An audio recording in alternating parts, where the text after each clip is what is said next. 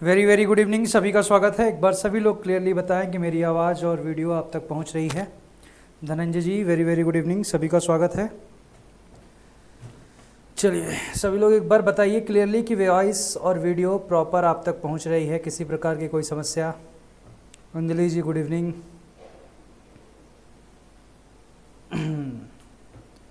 तो चलिए, अभी आपका जो इनपुट आउटपुट है, उसके 40 से 50 प्रश्न हमने कल शायद देखा था 40 प्रश्न देख लिया था। बाकी जो एक्स्ट्रा क्वेश्चन है, वो मैंने आपको पीडीएफ के फॉर्मेट में लगवा दिया है। सभी लोग चेक कर लीजिएगा। नोटिफिकेशन अभी आपका आया होगा कि एमसीक्यू इनपुट आउटपुट की लगा दी गई होगी। उसे आप लोग अच्छे से पढ़ लेना। आज हम लोग मेमोरी पे डिस्कस करेंगे। मेमोरी होते ही मेमोरी के क्वेश्चंस को डिस्कस करेंगे। मतलब आज तो नहीं हो पाएगा। कल तक। नो प्रॉब्लम सब कुछ सही है। चलिए, Kamal ji very very good evening तो आज स्टार्ट करते हैं हम लोग मेमोरी ठीक है? अब यहाँ से जो प्रश्न आपका है, एक, दो प्रश्न तो आपको एग्ज़ाम में देखने को मिलेगा भाई। मेमोरी से एक, दो प्रश्न आपको देखने को मिलेगा और किससे कैसे मिलेगा वो मैं भी बता दे रहा हूँ। ठीक है? मेमोरी को बेसिकली आपको दो प्रकार से बांटा गया है। ठीक है? एक आपका जो बोला जाए, जिसे इंटरनल मेमोरी भी बोल सकते हो और एक एक्सटर्नल मेमोरी भी बोल सकते हो, और दूसरे शब्दों में कहा जाए तो किस किसमें हो जाएगा आपका? सब कुछ क्लियर है। देखो इंटरनल मेमोरी भी बोल सकते हो एक्सटर्नल मेमोरी भी बोल सकते हो। इसको आप प्राइमरी मेमोरी बेसिकली जो यूज़ किया जाता है, ठीक है? प्राइमरी मेमोरी और सेकेंडरी मेमोरी और पूछता है ऐसा प्रश्न कि और किस किस नाम से इन सबको जाना जाता है? जैसे इसको इंटरनल मेमोरी के नाम से भी जाना जाता है, इसको एक्सटर्नल मेमोरी के नाम से जाना जाता है। इसको जो है ऑक्सिलरी मेमोरी के नाम से भी जाना जाता है। ये ऑक्सिलरी मेमोरी भी होता है। इसी को एक नाम और भी है, इसी का। इसी को आपको किस नाम से जाना जाता है? परमानेंट मेमोरी के नाम से भी जाना जाता है। तो कभी कभी पूछ देता है जनरल सा question secondary memory is also known as auxiliary memory permanent memory इन सबके नाम से इनको जाना जाता है। रीता जी, आपने तो कमेंट ही ऐसा किया है, बंदर बना दिया है तो उसको हम कैसे पढ़ लें? बताइए। आपने जो कमेंट किया है, उसमें तो सब बंदर बंदर बना हुआ मुझे दिख रहा है तो हम सोचे वैसे ही बंदर बना के भेज रहे हो तुम लोग। अगला है, ये प्राइमरी मेमोरी इसको हम लोग टेम्पोरी मेमोरी भी बोलते हैं।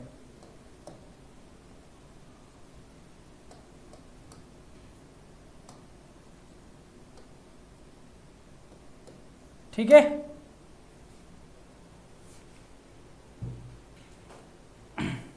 क्या है? कोई प्रश्न है? कोई दिक्कत है? कोई समस्या?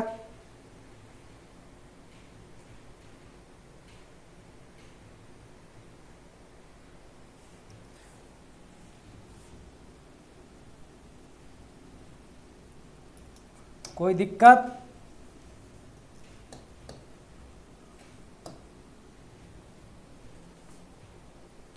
जल्दी से बताइए, फिर हम आगे बढ़ते हैं। ठीक है? तो इस इन नामों से इनको जाना जाता है। प्राइमरी मेमोरी को ही टेम्प्रोरी मेमोरी या सेकेंडरी मेमोरी को सेकेंडरी मेमोरी की ऑक्सिलरी और परमानेंट मेमोरी से। अब प्राइमरी मेमोरी में आपके जो आ जाएँगे पार्ट वो कौन कौन से आते हैं? प्राइमरी मेमोरी में जब आप आ जाओगे तो यहाँ पे आपके जो मेन होती हैं। ठीक है? प्राइमरी मेमोरी में अगर आप आ जाओगे तो मेन आपका जो लिया जाता है यहाँ पर कि जो इंटरनल मेमोरी होती हैं। यहाँ पे आपका हो जाएगा रैम और दूसरा हो जाएगा आपका रोम ठीक है? इसी को इंटरनल मेमोरी भी जाना जाता है और इंटरनल मेमोरी में और भी ऐसा नहीं है, और भी होती हैं। इसमें आप आ जाओगे तो यहाँ पे जब आप चले आओगे टेम्प्रोरी मेमोरी में तो इसमें आपको रजिस्टर देखने को मिलेगा। मैंने आर्किटेक्चर में पढ़ाया कि नहीं आपको? रजिस्टर हो गया। कैसे मेमोरी हो गई? ये भी सब क्या है? ये आपके सब सेमीकंडक्टर मेमोरियाँ होती हैं। जितने भी इंटरनल हैं या प्राइमरी मेमोरी बोल सकते हो, ये सब आपके सेमीकंडक्टर मेमोरी होती है। सेमीकंडक्टर से बनी होती है। बताओ भाई, कोई दिक्कत है क्या? बोलते नहीं हो। एक बार देख लेते हैं, फिर बोलते नहीं हो तुम लोग। अब आ जाओ। अब रैम जो है, अब रैम है, अब रैम को भी दो पार्ट में डिवाइड किया गया है। रैम के आपके दो पार्ट हैं, एक आपका है, डी रैम बोला जाता है जिसको। डी रैम का मतलब होता है फुल फॉर्म, पूछ ले तो डायनेमिक रैम। ठीक है? और एक है आपका एस रैम। ठीक है, इसको बोला जाता है स्टैटिक रैम। रैम का फुल फॉर्म तो सब जानते हो गए रैंडम एसेस मेमोरी पूछता जाता है भाई, इसमें और क्या पूछेगा? एसएस मेमोरी और रॉम का फुल फॉर्म क्या होता है? रीड ऑनली मेमोरी ये तो सब आता हो कि नहीं आता? ये भी नहीं आता तुम लोगों को। बताते रहो हाँ ना, जवाब देते रहो, तब तो जानेंगे तुम लोग ज़िंदा हो। आ जाओ आ जाओ भी धनंजय, बताते हैं। कि सबसे फास्ट कौन होता है और सबसे स्लो कौन होता है? एकदम टेंशन ना लो। ठीक है? अच्छा ये प्रश्न तुम्हें पूछना ही नहीं चाहिए था। तुम गलत कर दिए प्रश्न पूछ के। इसका मतलब तुम लेक्चर नहीं देखे हो। सही सही बताना। पकड़ा गए तुम।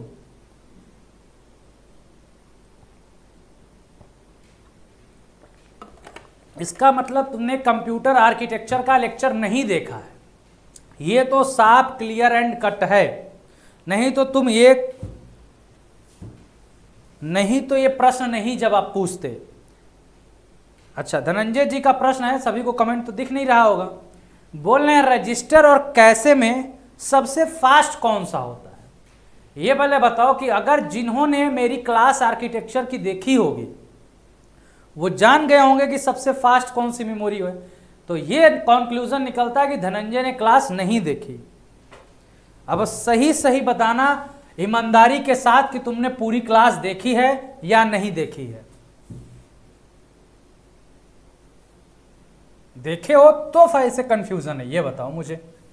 देखे हो तो एक बार उसे फिर देखना, क्योंकि इतनी बार मैं वहाँ पर ज़िक्र किया हूँ इन सब का। मुझे याद है, ठीक है? डी रैम हो गया एस रैम हो गया। अब जो आपका डी रैम है इसको भी फिर से आपको डिवाइड किया गया है। इसको बोला गया है आपका, एक आपका है S D RAM S D RAM का मतलब होता है सिंक्रोनस सिंक्रोनस डायनेमिक रैम क्या हो गया? कुछ नहीं, इसमें बस आपका, ठीक है? कुछ हुआ नहीं इसमें। सिंक्रोनस का मतलब इसमें क्लॉक साइकिल में एक बार में ज़्यादा इंस्ट्रक्शन को प्रोसेस करने के लिए। ठीक है? इसको यूज़ किया गया एस डी रैम को। ठीक है? इसकी जो एक फ्रीक्वेंसी रेट है क्लॉक स्पीड की 133 गीगा मेगा हर्ट्स है। मेगा हर्ट्स है। ठीक है? इसके क्लॉक साइकिल में इतने तेज वो फ्रीक्वेंसी पर क्लॉक फ्रीक्वेंसी पे काम करता है। दूसरा है इसका रैम्बस रैम्बस एक कंपनी थी, उसने डी रैम बनाया था और वो ग्राफ बेसिकली ये किसके लिए बनाया गया था? ये वीडियो जो गेमिंग होती है ना जहाँ पर वीडियो गेमिंग पर्पस के लिए रैम बनाए गए थे। वीडियो गेमिंग के लिए इसकी स्पीड ज़्यादा होती थी। वन गीगा होती है इसकी स्पीड और तीसरी आपकी जो बनाई गई वो डबल डाटा रेट जो आजकल आपको देखने को मिलता है मैक्सिमम कंप्यूटर में double data rate S RAM D नहीं एस रैम नहीं D S RAM S D RAM S D RAM का मतलब क्या हुआ? जो एस डी रैम है ना, ये synchronous dynamic random access memory इसी का ये पार्ट है, इसी का एक एडवांस वर्जन बोल सकते हो इसको। इसमें डबल डाटा रेट है मतलब आप समझ सकते हो इसमें और प्रोसेसिंग फास्ट हो जाती है। अरे रुक जाओ रुक जाओ भाई, अभी जो मैं पढ़ा रहा हूँ, अभी मैं एक एक करके चल रहा हूँ, अभी रैम पर चल रहा हूँ ना, इसी पर बात करेंगे। रुक जाओ, अभी बता रहे हैं टेम्पोरी मेमोरी कैसे होती है, ठीक है? अभी एक बार बना लेने दो डिवीज़न। आप लोग कॉपी में ये लिखो तो पहले।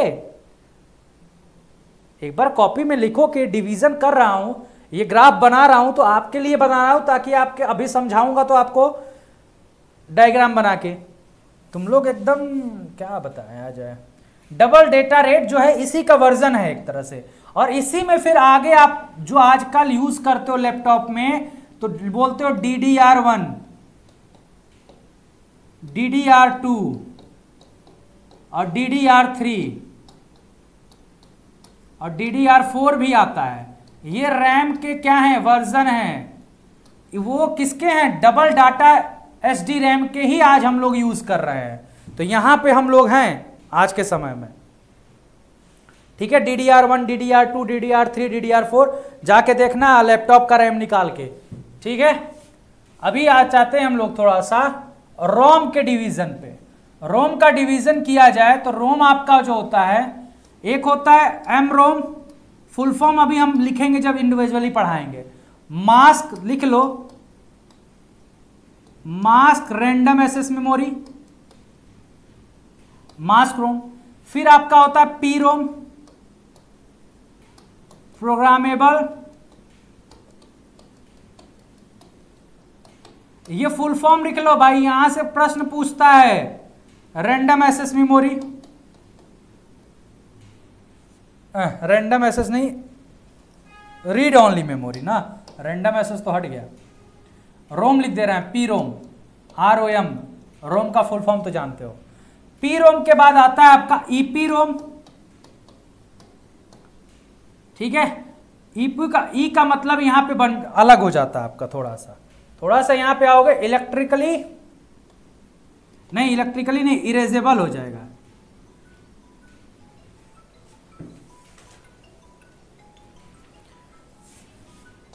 इरेजेबल ठीक है? प्रोग्रामेबल रोम ठीक है? वही वही सब रहेगा। और थोड़ा सा आ जाओ। अब यहाँ पे आ जाएगा ई ई पी रोम अब यहाँ पे जो होगा वो इलेक्ट्रिकली हो जाएगा। इलेक्ट्रिकली इरेजेबल पी रोम ठीक है? ई ई का मतलब electrically erasable programmable read only memory अब एक एक करके समझेंगे। बहुत बड़ा बन गया। तुम लोग बना लिए कि नहीं बना लिए? ये मेमोरी का डिवीज़न बना लिए कि नहीं बना लिए? चलो इसको भी बना ही देते हैं। जो सेकेंडरी मेमोरी होगी, उसमें आपका हार्ड डिस्क एच से बनाएँगे। उसके बाद से आपका फ्लॉपी डिस्क एफडी से कर लो इसको फ्लॉपी डिस्क हो जाता है।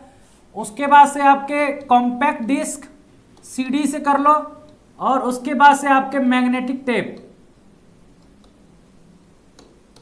मैग्नेटिक टेप ठीक है?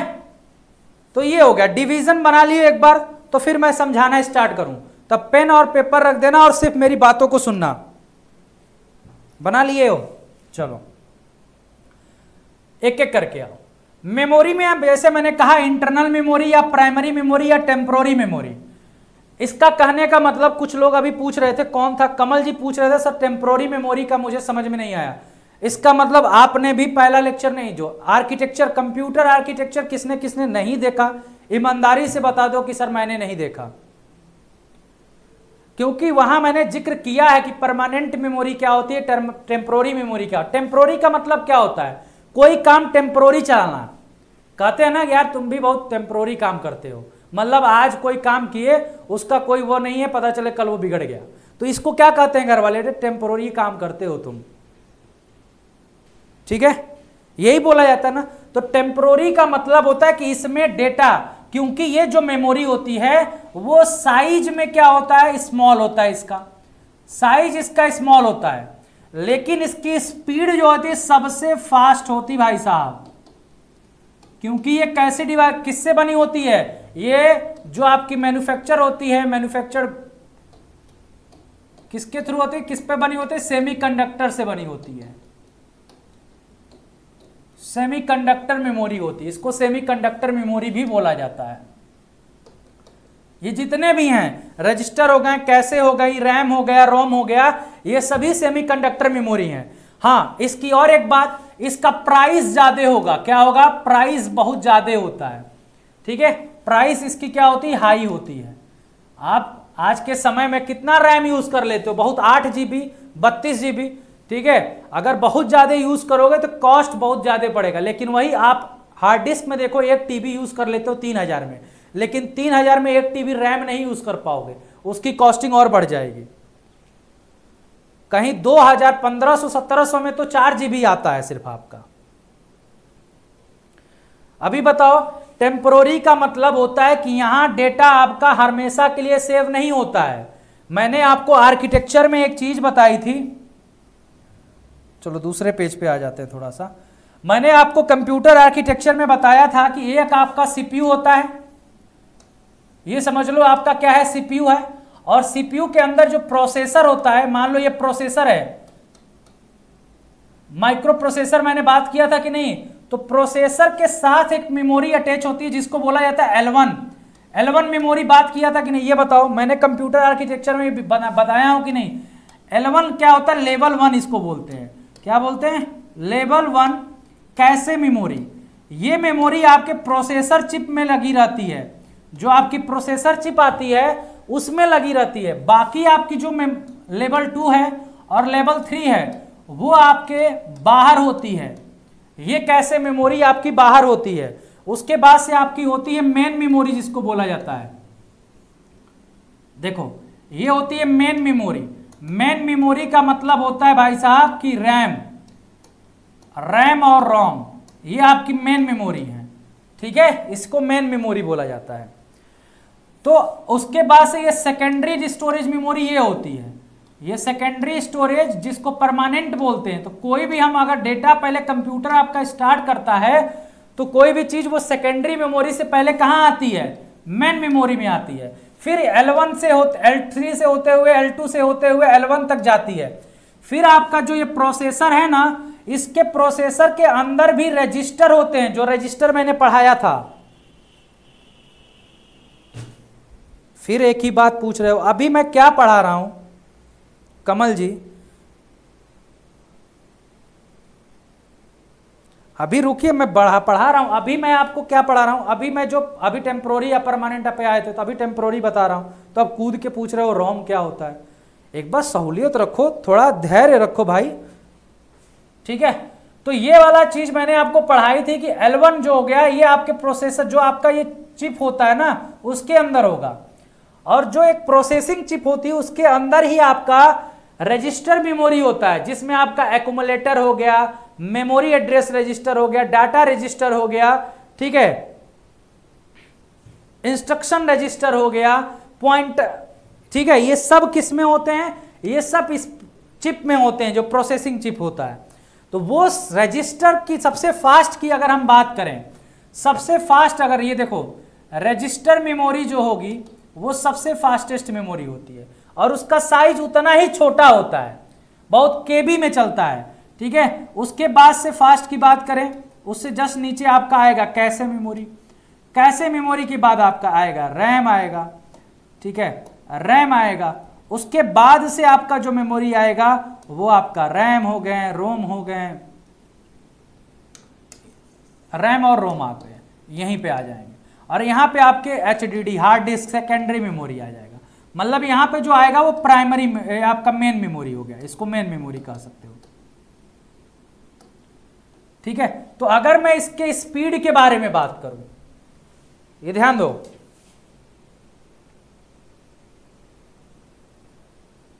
ठीक है? और उसके बाद से हम मैग्नेटिक टेप लिख लो। मैग्नेटिक टेप वही जो टेप रिकॉर्डर में रील वाला होता था ना काला काला रील जो होता था। तो स्पीड की बात करें तो स्पीड में कैसे होगा? देखो स्पीड ऐसे तेज होगी इससे तेज इसकी है, इसके तेज इसकी है, इसके तेज इससे है, इससे तेज इसकी है। समझ रहे हो? तो ये स्पीड का हो गया। स्पीड में ये हो गया। ऐसे स्पीड के उधर से। अगर हम आकार की बात करें, कि साइज़ की बात करें तो साइज़ में देखो, ये साइज़ हो जाएगा। इसकी सबसे कम साइज़ होगी, इसकी कम होगी, इससे मतलब इससे ज़्यादा इसकी होगी, इससे ज़्यादा इसकी होगी, इससे ज़्यादा इसकी होगी, इससे ज़्यादा इसकी होगी। तो ये साइज़ से हो गया। ठीक है? ये साइज़ के अकॉर्डिंग हो गया। ये ध्यान रखना। ये आपका अरेंज आता है कभी कभी ठीक है? तो यहाँ पे ये कहा गया कि बार बार अगर सपोज़ करो, कैसे मेमोरी नहीं लगेगी? अभी बोल रहे थे ना कि कैसे मेमोरी कौन फास्ट होती है? ये इसीलिए कि रैम में अगर कोई, आपका कोई भी एप्लीकेशन खोलते हो, चाहे वो वीडियो मीडिया प्लेयर हो, चाहे वर्ड हो, वो रैम में खुलता है। लेकिन उसको सीपीयू तो मिलता है ना सीपीयू काम करने के लिए मिलता है। उसके प्रोसेस को हैंडल करने के लिए। तो बार बार रैम से अगर सीपीयू किसी प्रोसेस को करेगा, एग्जीक्यूट करेगा, किसी भी प्रोसेस को तो इतना इसको टाइम ज़्यादा लगेगा। इसी वजह से कैसे मेमोरी बनाई गई वो भी तीन लेवल की, ताकि आपको जब भी, क्योंकि अगर यहाँ से यहाँ पर कोई सीपीयू अगर कोई इंस्ट्रक्शन लेता है प्रोसेस करने के लिए तो उसको 180 के अप्रोक्स 180 नैनो सेकेंड लगता है। 180 सेकेंड नैनो सेकेंड में वो एक प्रोसेसर को यहाँ लेके आता है। लेकिन वही अगर कैसे मेमोरी बीच में लग जाती है तो यहाँ से यहाँ पर अगर आपको कोई भी, ठीक है, अगर कैसे मेमोरी लग जाती है तो सीपीयू को कोई डेटा फैच करने के लिए मात्र 45 सेकेंड लगता है। तो यहाँ क्या हो रहा है? टाइम आपका कम कर दिया ना, कैसे लग गया तो? तो कैसे का काम यही होता भला इसका स्टोरेज कम होता है। क्योंकि ये बाद बाद में क्या होता है, उसमें से डेटा डिलीट होता रहता है। उसके मेमोरी से जैसे ऊपर गया, वो चीज़ें बाहर होती चली जाएँगी। काम हुआ, बस चीज़ें खत्म। जो भी चीज़ें हुई, मान लो किसी पे काम करना है, अभी ये प्रोसेसर P1 को कर रहा है तो P2 ऑलरेडी इसमें पड़ा रहेगा। जैसे ये खत्म हुआ, ये यहाँ पे आ जाएगा। ठीक है? उसको P2 को यहाँ से नहीं मांगना पड़ेगा। वो ऑलरेडी सब सिक्वेंस में यहाँ पे आके लगा रहेगा। P2, P3, P4 बाकी और ऑलरेडी इसमें लगे रहेंगे। मान लो इसके लिए इसमें स्पेस सिर्फ़ P2, P3, P4 के लिए है। तो इतने प्रोसेस इसमें रहेंगे। P5, P6, P7, P8 process इसमें रहेंगे। सब अगर चार चार प्रोसेस को ले सकते हैं तो जैसे इसमें से P2 यहाँ गया ठीक है ना? तो यहाँ से एक P4 यहाँ पे आ जाएगा। तो ऐसे होता है इसमें। समझ में आ रहा है? एक बार हाँ ना बोलो कुछ बोलो जल्दी से। यह समझ में आया कि नहीं आया? कैसे मेमोरी इसीलिए यूज़ किया जाता है कि आपकी प्रोसेसिंग स्पीड फास्ट हो कंप्यूटर की? नहीं तो वो एक ही चीज़ को इतना लंबा प्रोसेस में ले एक, किसी एक टास्क को करने में उसको ज़्यादा समय लगेगा। ठीक है, इसलिए इसको किया जाता है। और अंदर भी रजिस्टर होते हैं। रजिस्टर मेमोरी और भी फास्ट होती है कैसे से? उसमें जब डेटा चला जाता है तो कभी डेटा को बस रजिस्टर से, चाहे डाटा रजिस्टर में भेजना, चाहे इंस्ट्रक्शन को क्या करना है, क्या नहीं करना है, वो सब वो इसमें होता, वो मैंने आर्किटेक्चर में पूरा डिटेल में पढ़ाया है तो उसको देख लेना भाई, ऐसा मत करो। आ रहा है ना? तो समझ गए?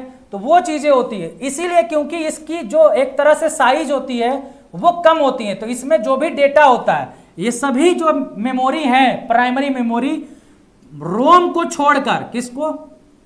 रोम को छोड़कर आर ओ एम जो लिख दिया मैंने, इसको छोड़कर सभी क्या होती हैं? वॉलेटाइल मेमोरी होती हैं।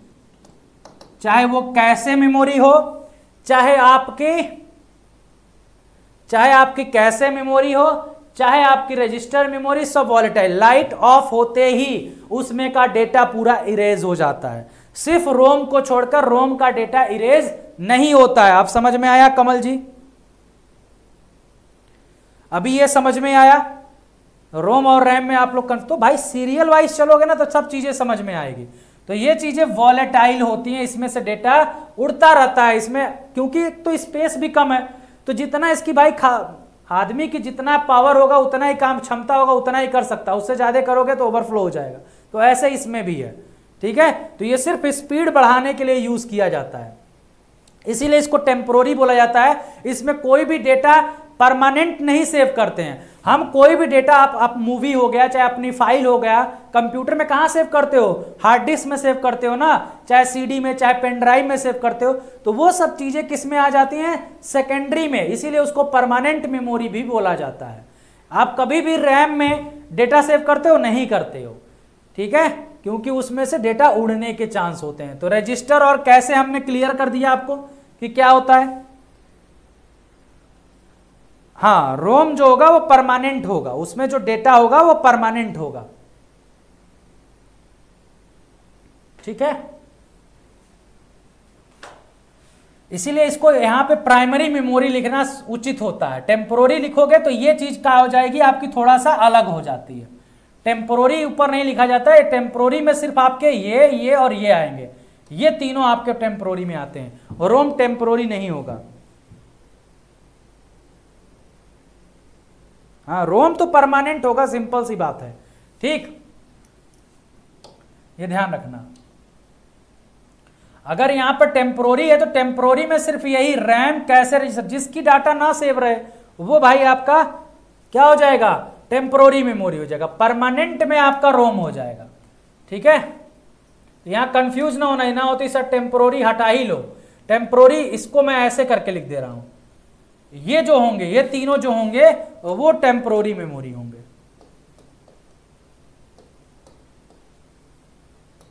ठीक है? ये टेम्पोरी होंगे और ये आपका रोम जो होगा, वो परमानेंट में शामिल हो जाएगा। ठीक? चलो। अभी आ जाते हैं हम लोग। रैंडम एसेस मेमोरी देखो, आपको मेमोरी को एसेस करने के दो माध्यम होते हैं। किसी भी मेमोरी में आप कोई भी डेटा अगर एसेस करते हो तो उसके दो माध्यम होते हैं। एक होता है आपका सिक्वेंशियल और एक होता है आपका रेंडम ठीक है? तो रैंडम आप कहाँ से डेटा ले सकते हो? जो रैम का अगर मान लो रैम का एक कोई स्लॉट होगा, कहीं भी मेमोरी में स्लॉटिंग होती है ना, कोई भी डेटा आपके स्लॉट्स में क्या होते हैं? एड्रेस होता है। हर एक में एड्रेस होता है हर स्लॉट का, लाइब्रेरी की तरह होता है। हर स्लॉट का एड्रेस होता है zero one zero one one one. ऐसे एड्रेस होगा। तो आप कहीं से भी कोई भी डेटा आप तुरंत उठा सकते हो, रैम में। ये खासियत होती है रैंडम आप एसेस कर सकते हो। बीच से कहीं भी डेटा, कोई भी डेटा आपको पढ़ना हो तो जो भी चाहे आप सेल से कोई भी किताब उठा सकते हो। लेकिन सिक्वेंशियल में सिक्वेंशियल का एग्ज़ाम्पल हो जाएगा, जिसके जितने भी आपके मैग्नेटिक टेप हैं ठीक है, या डिस्क हैं। डिस्क मतलब चाहे वो हार्ड डिस्क हो, चाहे सीडी डिस्क हो, उसमें आपका जो डेटा होता है, वो आप सिक्वेंशियली उसमें से रीड करते हैं। उसमें आप सिक्वेंशियली पहले यहाँ पे जाओगे, फिर अगले पे जाओगे, फिर अगले पे जाओगे, फिर अगले पे जाओगे तो ये ऐसे होता है, आप किसी पर्टिकुलर जगह से डेटा डायरेक्ट रीड नहीं करते हो। आप रेंडमली कोई डेटा नहीं रीड कर सकते हो तो दो मेथड होता है डेटा रीड करने का, एक सिक्वेंशियल और एक रेंडम ये सिक्वेंशियल कहाँ यूज़ होता है? मैग्नेटिक और डिस्क वाले में मैग्नेटिक टेप और डिस्क में यूज़ होते हैं, और रेंडम जो होता है वो रैम में यूज़ होता है। किसमें होता है? रैम में होता है। ठीक है? तो ये दो हो गए। आ जाओ। अभी अब कहा थे हम लोग? उसके बाद रेंडम हमने बता दिया रेंडम एसेस मेमोरी क्या होता है। अब रोम में आ जाते हैं, हम लोग थोड़ा सा रोम के बारे में पढ़ लें। रोम क्या है? जिसको हम बोलते हैं रीड ओनली मेमोरी।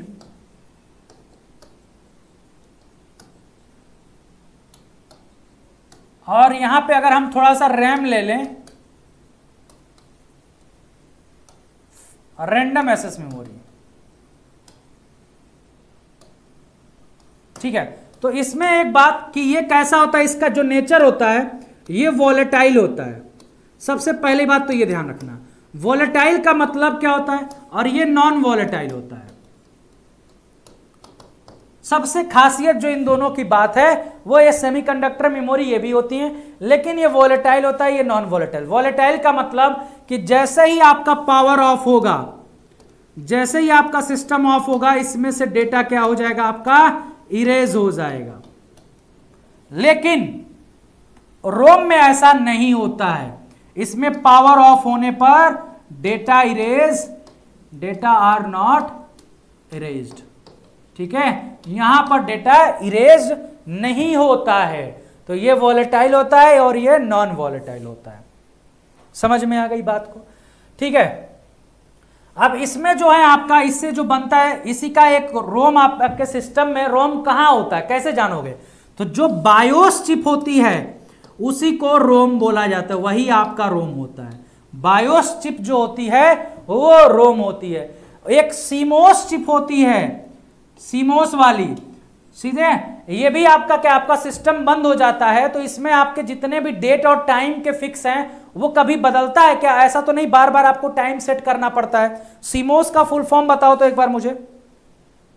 सीमोस जो चिप होता है, जो आपके डेट और टाइम को सेव करके रखता है, कि आपका सिस्टम बंद भी हो जाए, तभी भी वो भी एक तरह का रोम ही है। जो सीमोस भी है, वो एक तरह का क्या है? रोम की कैटेगरी में आता है। इसका फुल फॉर्म बताओ। इसका फुल फॉर्म होगा कॉम्प्लीमेंट्री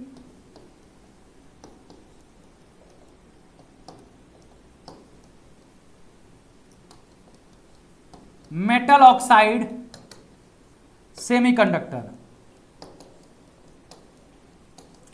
ठीक है? इसका काम क्या होता है कि जो भी डेट है टाइम है, ये सब चीज़ें आपकी इसमें रहती है सेव तो आपका सिस्टम बंद भी होता है हाँ सीमोस बैटरी तो वो आपका क्या करता है कि जब आप ऑन करते हो तो बार बार आपको टाइम और डेट नहीं सेट करना होता, वो ऑलरेडी उसमें पहले से सेव होता है.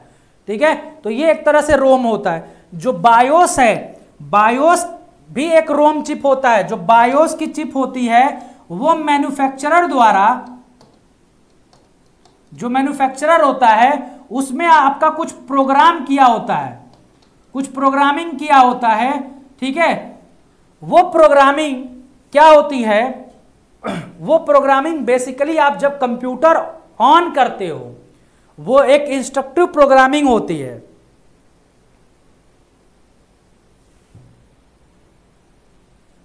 अच्छा। ठीक है? तो कोई बात नहीं है, गलतियाँ हो जाती हैं। ठीक है? बायोस का फुल फॉर्म पहले एक बार देख लो। बायोस का क्या होगा फुल फॉर्म? ये भी पूछा है कई बार। Basic input, output system. ठीक है? ये इसका फुल फॉर्म होता है, कई बार एग्ज़ाम में पूछा है। Basic input, output system. मज़ा आ रहा है? पहले बताओ, पहले सब लोग बताओ, मज़ा आ रहा है पढ़ने में? कोई दिक्कत, कोई समस्या? तो यहाँ पर जो बायोस है, वो रोम में एक प्रोग्रामिंग उसमें जो मैन्युफैक्चरर वो पहले से इसमें बना के देता है कि जब भी आपका पावर बटन ऑन करते हो, दबाते हो लैपटॉप का तो पहले बायोस की प्रोग्रामिंग रन करती है।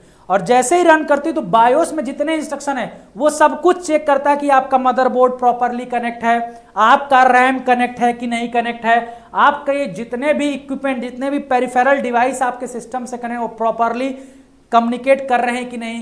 कोई बस चाहे जो भी आपके इंटरनल सर्किट है, कोई दिक्कत तो नहीं दे रहा है। अगर कोई दिक्कत है सपोज़ करो रैम आपकी अच्छे से नहीं लगी, ढीली है, ठीक है तो वो टी टी टी की साउंड प्रोड्यूस करने लगेगा। कोई भी समस्या हार्ड डिस्क में कोई समस्या है, तभी भी वो आपका साउंड प्रोड्यूस करने लगेगा। एकदम मज़ा आ रहा है। चलो, मज़ा आना चाहिए, बस। हाँ base basic input output system ठीक है? तो यहाँ पे बायोस का काम ये होता है कि वो पूरा तरह से चेक कर डाले, फिर आपको क्या करता है? अगला स्टेप क्या होता है? इसी बायोस में एक प्रोग्रामिंग होती है, जिसको बोला जाता है बूट स्ट्रैप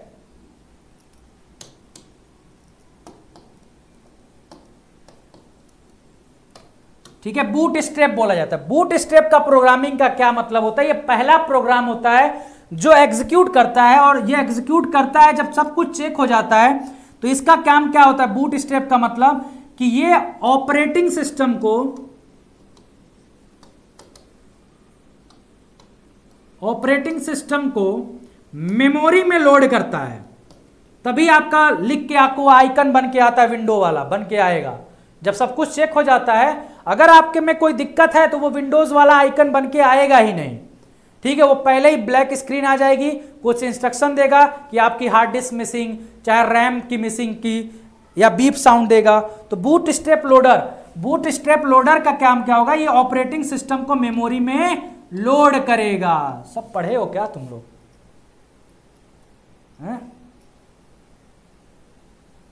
जी अजय जी, बाद में पढ़ सकते हो, कोई दिक्कत नहीं है।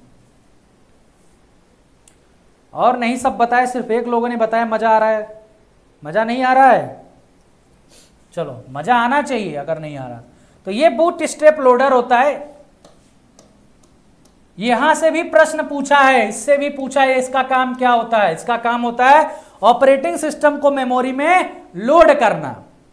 ठीक है? और यहीं से एक प्रश्न और बन जाता है जब बूट स्टेप की बात आई कि दो प्रकार की बूटिंग होती है। वो बूटिंग कौन कौन सी होती है भाई? बताओ थोड़ी। एक की वार्म बूटिंग होती है और दूसरी आपकी क्या होती है? कोल्ड बूटिंग होती है। और इसी को और नाम से भी जाना जाता है। कौन कौन सा नाम है? नहीं बताओगे? वार्म बूटिंग को क्या कहा जाता है भैया? वार्म का मतलब हो गया हार्ड इसको हार्ड बूटिंग भी बोला जाता है। और कोल्ड का मतलब क्या हो गया? सॉफ्ट ठीक है? नहीं, यहाँ पे अलग है। वार्म को बोला जाएगा यहाँ पर सॉफ्ट और यहाँ पर इसको बोला जाएगा हार्ड हार्ड बूटिंग। दूसरा नाम अगर कह दे आपसे तो क्या होता है? ये भी होता है। वार्म बूटिंग का मतलब हो गया कि जब आप सिस्टम को क्या करते हो? रीस्टार्ट करते हो। जब रीस्टार्ट करते हो और यहीं से प्रश्न एक और बनता है कि वार्म बूटिंग के लिए शॉर्टकट की क्या है? तो control plus alt plus del, delete. जब कर देते हो तो एक लास्ट में नीले कलर का स्क्रीन आ जाता है, उसी में टास्क मैनेजर रीस्टार्ट का ऑप्शन आता है।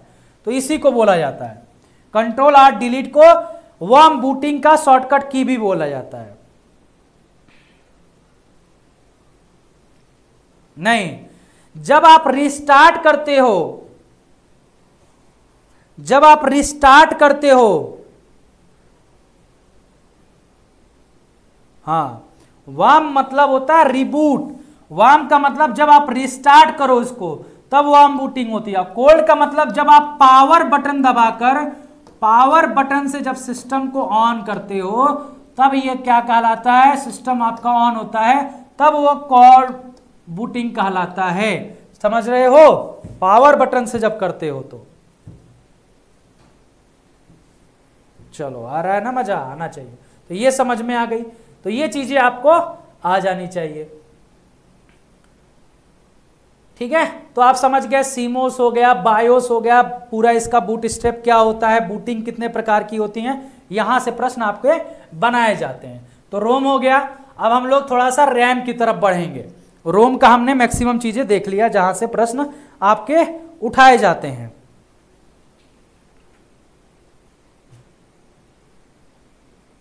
चलो। हम्म।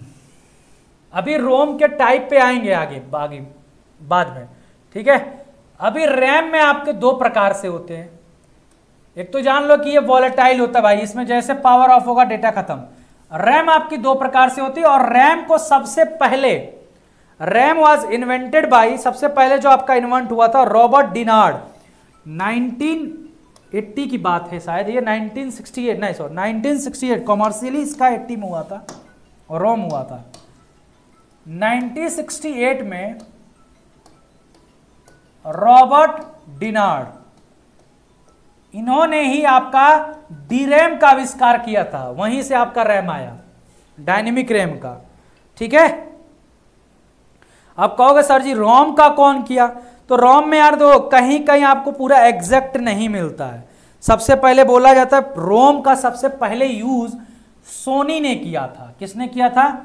कॉमर्शली इसका जो यूज़ है एक तरह से, पूरा हंड्रेड परसेंट नहीं मिलता है। कॉमर्शियली यूज़ जिसका सोनी ने किया था, लेकिन इन्वेंट कौन किया था? कुछ लोग बोलते हैं कि जैसे क्या है कि Don Kong and Simon Jong ये दो लोग थे जो एक एमओएस की सर्किट बनाए थे। अंजलि जी इसका शॉर्टकट की नहीं होता है। इसका पावर जो आपका कोल्ड बूटिंग होता है, इसका शॉर्टकट की नहीं होगा, क्योंकि वो पावर बटन से ऑन हो रहा है ना मैनुअली चीज़ हो रही है। डायरेक्ट आप वो नहीं कर सकते उसको ऑन बिना पावर बटन दबाए.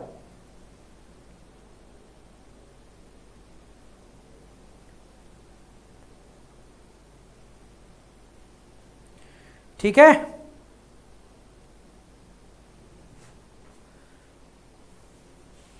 बोला जाता डीओवी फॉर ये हाँ, देखो ये कहीं कहीं अलग अलग मिलेगा। इन्होंने क्या किया था? इसी के हेल्प से प्रोग्रामेबल पीरोम बनाया था इसने। इसने क्या बनाया था? पीरोम बनाया था। अब रोम का किसने किया? इसने क्या किया? एक एमओएस जो डेवलप किए थे। एमओएस इन्होंने लोगों ने एक मेमोरी डेवलप किया था, जो ton Dawon D A W O N Dawon Kahng ठीक है? खांग है? यही नाम था शायद। ठीक है?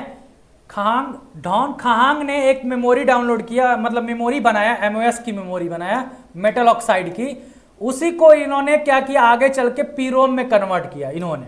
लेकिन इसका एग्जैक्ट नहीं मिलता है तो रोम का नहीं कोई पूछेगा आपसे। ठीक? रैम का पूछ सकता है। इन्होंने किया था रॉबर्ट डिनार्ड ने। हार्ड ड्राइव का पूछ रहा है। हार्ड ड्राइव का पूछ सकता है। हार्ड हार्ड डिस्क का किसने किया? एसडीडी का जो इन्वेंशन किया, वो आपका आईबीएम जो है ना इसने आईबीएम ने और एक लोग और थे, उन्होंने किया था। रियोनोल्ड। रियोनोल्ड। इन दोनों ने मिलकर किया था। आईबीएम कंपनी और रिनोल्ड ने मिलकर हार्ड डिस्क का आविष्कार किया था। ठीक है? आ जाओ। अभी हम लोग क्या थे कि रैम पर थे। अभी हम लोग रैम पर थे और रैम को दो प्रकार में बांटा गया है, जैसा मैंने आपको बताया। एक आपका है इसमें डी रैम जिसको बोला जाता है डायनेमिक डायनेमिक का मतलब होता है चेंज होना इसमें। डायनेमिक का मतलब होता है, पहले इसका मीन्स होता है चेंज डायनेमिक का मतलब होता है चेंज और एक होता है आपका एस रैम एस रैम मतलब हो गया स्टैटिक स्टैटिक रैम स्टैटिक का मतलब एकदम फिक्स होना। फिक्स या फ्रीज होना, एक तरह से बोल सकते हो फिक्स रहना। अब डी रैम जो बनाया गया, इसकी जो सर्किट बनाई गई, इसमें आपके ट्रांजिस्टर और कैपेसिटर मिलाए गए थे। ट्रांजिस्टर एंड कैपेसिटर से बना था आपका। और ये रिफ्रेश होता है, इस, ये मेमोरी क्या होती है? रिफ्रेश होती है। इसीलिए यहाँ पे इसका क्या होता है? ये रिफ्रेश होती है, मेमोरी रिफ्रेश होती है। ठीक है? और इसीलिए इसका यूज़ जो होता है, इसीलिए इसका रिफ्रेश किसके कारण होती है? कैपेसिटर क्योंकि कैपेसिटर आपका चार्ज होगा और डिस्चार्ज होगा। इस प्रोसेस के कारण जो होगा आपका ये मेमोरी रिफ्रेश होती है। ठीक है, जो भी डेटा होगा वो पर्टिकुलर टाइम पर रिफ्रेश होगी। डायनेमिक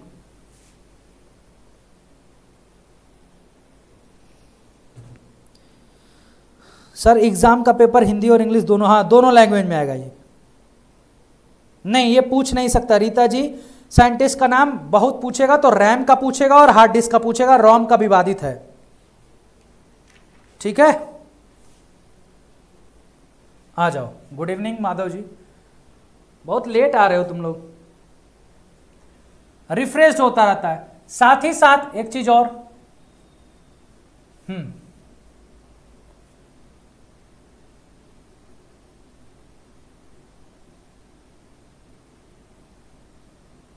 समझ में आ गया? तो ये रिफ्रेश होता रहता है डीरेम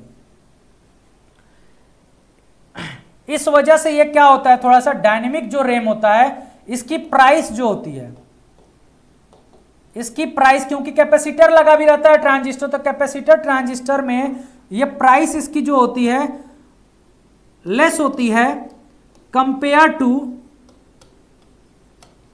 एस रैम की अपेक्षा। ठीक है? एस रैम की अपेक्षा इसकी प्राइस जो होती कम होती है। यहाँ पे बोल दिया जाए तो इसमें ये फिक्स होता है, जो भी डेटा होगा, ये सिर्फ़ मेड बाई ये इसका जो होता है, ये ट्रांजिस्टर से ही बना होता है। इसमें कैपेसिटर नहीं लगा होता है। इसमें ट्रांजिस्टर से बनता है कैपेसिटर नहीं लगता है। इसीलिए इसमें रिफ्रेश नहीं होता। ये मेमोरी जो होती है, वो रिफ्रेश्ड नहीं होती है। ये ध्यान रखना। और इसका जो यूज़ होता है वो रैम के लिए ही होता है पर्टिकुलरली रैंडम एसेस मेमोरी के लिए। और इसका जो होता है, इस, जो एस रैम होता है ना स्टेटिक रैम ये एस रैम है, ये कैसे मेमोरी में यूज़ होती है? किसमें? इसी से कैसे मेमोरी बनाई जाती है, क्योंकि इसे रिफ्रेश नहीं होता है। ध्यान रखना, कैसे मेमोरी इसी से बनाई जाती है और ये रिफ्रेश नहीं होता नॉट रिफ्रेश्ड क्योंकि कैपेसिटर यहाँ नहीं लगा हुआ है। समझ गए? स्पीड इसकी फास्ट होती है। फास्ट होगी compare to D RAM price इसकी जो होगी वो हाई होगी। कंपेयर टू डी रैम और क्या होगा? स्पीड इसकी फास्ट होगी, जानते हो कैसे की स्पीड फास्ट होती है? प्राइस इसकी हाई होगी, ठीक है, और इसकी अगर स्पीड करें तो इसकी स्पीड लेस होगी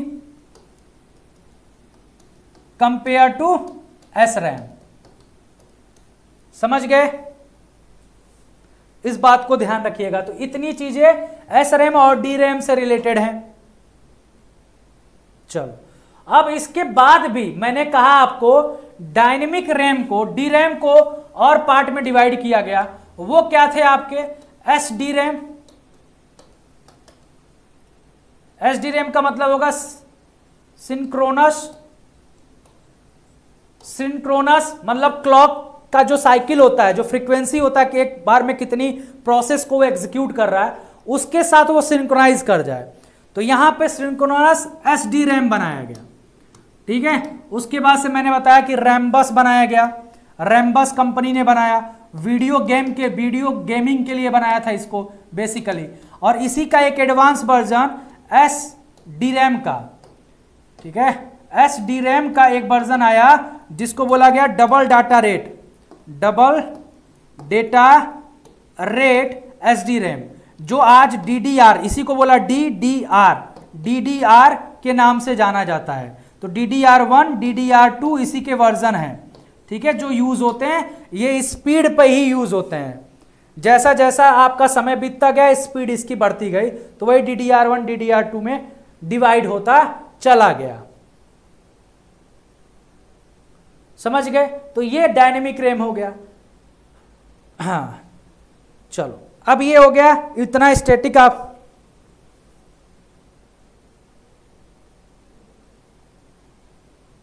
चलो अगला आते हैं। अब क्या है? डायनेमिक हो गया स्टेटिक हो गया। एस डी रैम हमने आर एम एस भी बता दिया डबल डेटा रेट के बारे में भी बता दिया सब बता दिया। अब इसी में एक डी रैम का पैकेज आता है स्लॉटिंग पैकेज कहा जाता है। जो आपका डी रैम होता है ना डी रैम का पैकिंग आ, पैकेजिंग एक आती है पैकेजिंग जो होता है बोला जाए मदरबोर्ड में इसकी क्या क्या मेन टाइप होता है मदरबोर्ड में? स्लॉटिंग के बेस पर, कि इसको कनेक्टिविटी के बेस पर दो पार्ट में बांटा गया। एस आई एम एम और डी आई एम एम अब ये तो विलुप्त हो चुका है। Single meme single input line memory module ये 32 बिट इसमें आपका बस यूज़ होता था। कोई भी अगर डेटा ट्रांसफ़र के लिए 32 बिट यूज़ होता था। तो अब 32 बिट का आना ही नहीं रहा। अब आ गया ये double double input line memory module. अभी देखते हो जो आपका रैम का चिप होता है वो आपका बीच में ऐसे कटा होता है। दो स्लॉट होता है ऐसे।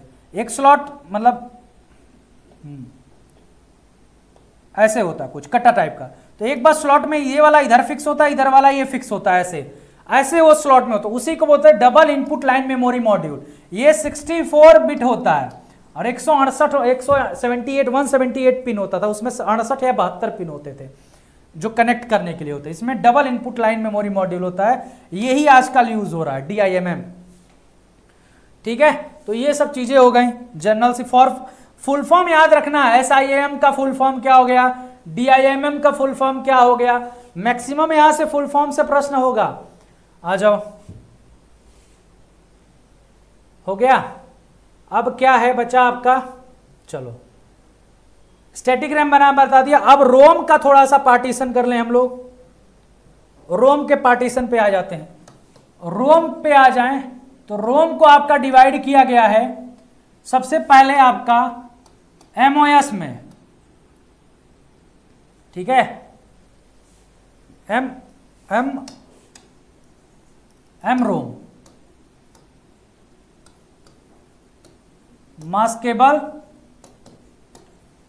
read only memory full form अब इसका क्या खासियत है?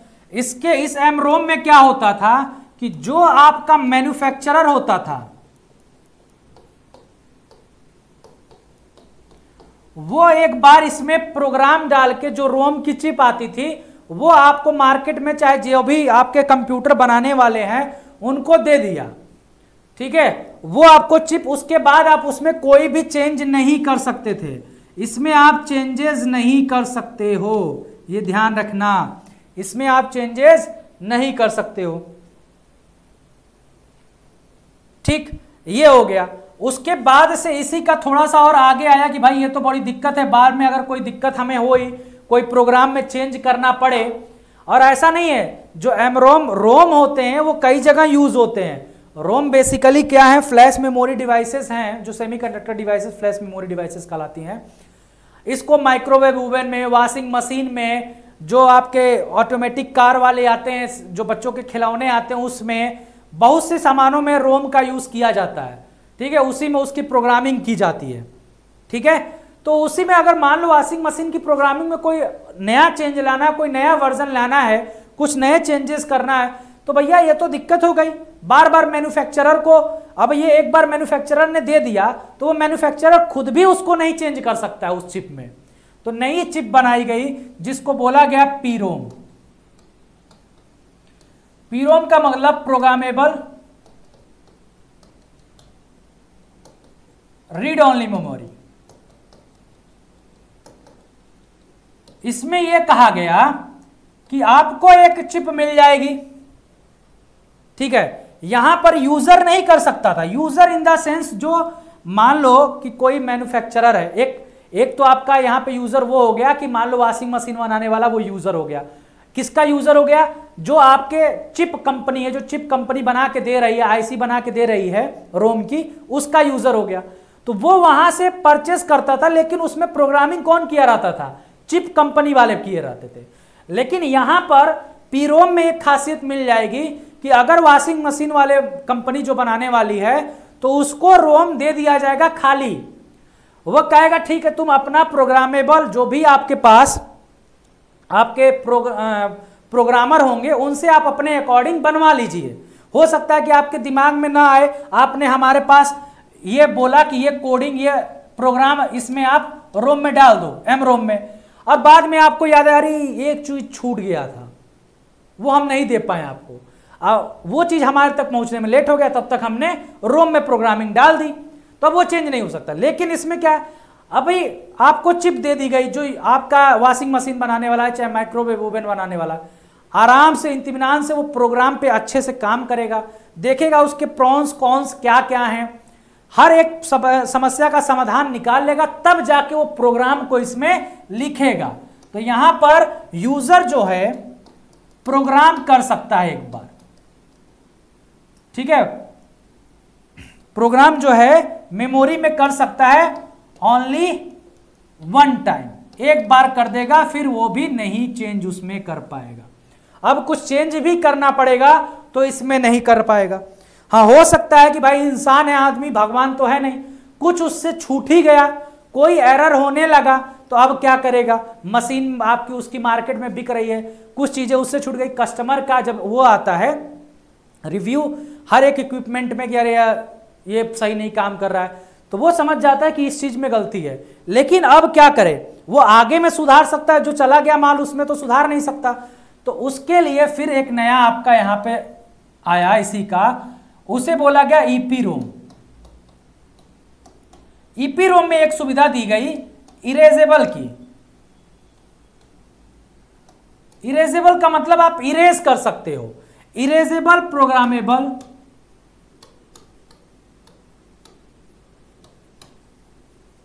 रीड ऑनली और रीड ऑनली मेमोरी का मतलब इसमें आप सिर्फ़ डेटा को रीड कर सकते हो, उसमें राइट नहीं कर सकते हो। ऐसा बोला जाता है, क्योंकि यूज़र एंड से हम लोग नहीं कुछ कर सकते हैं उसमें। समझ में आ रहा है? बोलो हाँ ना, जल्दी से। ठीक है इरेजेबल में क्या हुआ? एक सुविधा कि यहाँ पे भाई इरेज नहीं कर सकता था यूज़र उसको ध्यान में आया कि हाँ हो सकता है ये फॉल्ट जा रही है हमारे मशीन में। अब उसको समझ में आया तो अब ये मार्केट में आ गया। जैसे जैसे लोगों की आवश्यकता बढ़ती रहती है तो आविष्कार होता रहता है। ऐसे ही यहाँ पर हुआ। इरेजेबल आ गया। यहाँ पर आपको ऑलमोस्ट 40 मिनट का समय लगता था। एक बार डेटा को और यहाँ पर पूरा का पूरा डेटा इरेज करना पड़ता था। मतलब हो सकता है कि किसी एक सेगमेंट में आपकी गलती हो प्रोग्राम के। कोई एक सेगमेंट आपका सही से काम ना कर रहा हो प्रोग्राम का। तो आपको यहाँ पर क्या करना पड़ेगा? यूवी रे के through ultra violet UV ray के थ्रू क्या करना पड़ता था? डेटा को इरेज किया जाता था। रोम के जो चिप थी, उससे पूरा डेटा इरेज हो जाता था 40 मिनट में। लेकिन हाँ सिंगल आपका एक बार इरेज हो गया। समझ में आ रहा है ना? चलो तो हाँ बीच बीच में ऐसे बोलते रहो। एक बार डेटा आपका इरेज इरेज हो गया तो फिर आपका वो क्या हो पाएगा? नहीं हो पाएगा, फिर आप उसमें नहीं कर सकते हो। और एक तो इतना टाइम भी लेता था। इरेजेबल प्रोग्रामेबल रीड ऑनली में एक बार इरेज हो गया यूबी रे के थ्रू आपने कर लिया, और फिर आप इसमें प्रोग्राम कर सकते हो, बस ये सुविधा इसने दिया ईपी रोम ने।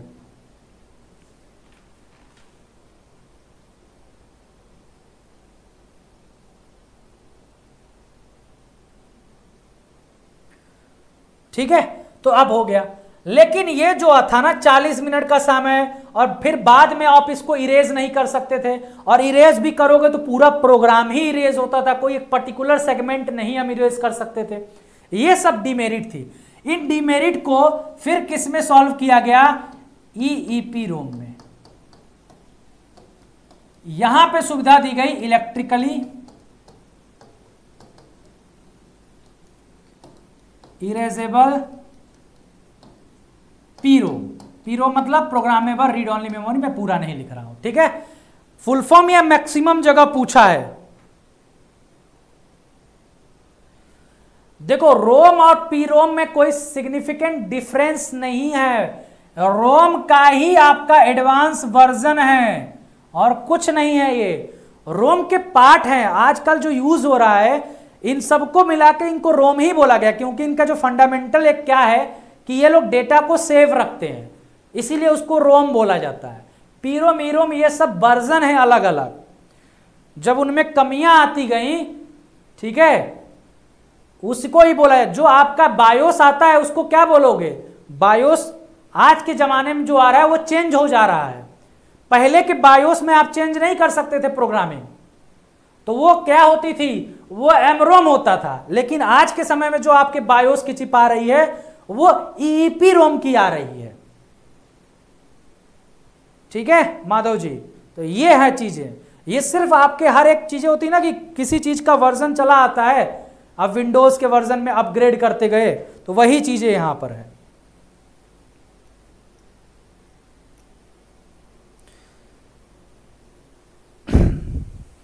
चलो, आ जाओ। तो इलेक्ट्रिकली इरेजेबल पीरोम जो हो गया यहाँ पर आपको जो समय लगता था, एक बार इरेज करने में शायद मिली सेकेंड या नैनो सेकेंड का काम होता था इसमें। मतलब बहुत कम समय में मिली सेकेंड या नैनो सेकेंड में इरेज हो जाता था इलेक्ट्रिक से। तो ये टाइम आपका हो गया सेव आप यहाँ पर थाउज़ेंड से कितनी बार भी चाहो थाउजेंड्स ऑफ़ टाइम इसमें इरेज कर सकते थे। ठीक है? जितनी बार चाहे, उतनी बार प्रोग्राम को इरेज कर सकते हो, बना सकते हो। साथ ही साथ आप पर्टिकुलर किसी सेगमेंट को पर्टिकुलर सेगमेंट को भी यहाँ पर इरेज करने की फैसिलिटी आ गई। तो ये फैसिलिटी ही तो बढ़ रही है। जैसे जैसे हम बढ़ रहे हैं तो हमारी फैसिलिटी बढ़ रही है। तो फैसिलिटी ही वर्जन होती है। समझ में आ गया? तो इरेज करने में यहाँ पे दिक्कत आ रही थी। एक बार इरेज करना पर्टिकुलर हमें अगर पता है कि कोई प्रोग्रामिंग में, वॉशिंग मशीन के घुमाने में, चाहे उसका टाइम कंप्लीट होने पर पर्टिकुलरली बंद नहीं हो पा रहा है तो हम बस उतने के प्रोग्राम में चेंज करेंगे ना। ठीक है? हम पूरा क्यों प्रोग्राम वॉश करें? भाई, प्रोग्रामिंग बर्न करने में भी टाइम लगता है। इसी को जो प्रोग्रामिंग बर्न किया जाता है, इसको एक हार्डवेयर के थ्रू किया जाता है, उसको प्रोग्राम बर्नर कहा जाता है। प्रोग्राम बर्नर, हम लोग जब